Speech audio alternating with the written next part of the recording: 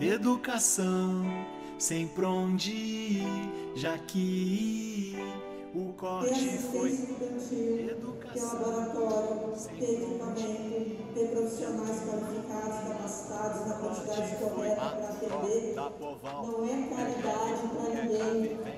É um direito que vocês têm.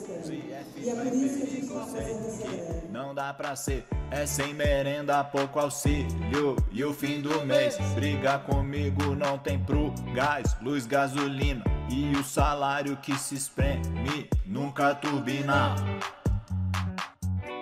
Educação, sempre onde ir, já que o corte foi se tu topar, bora lutar. Vem do seu jeito, a educação é nossa.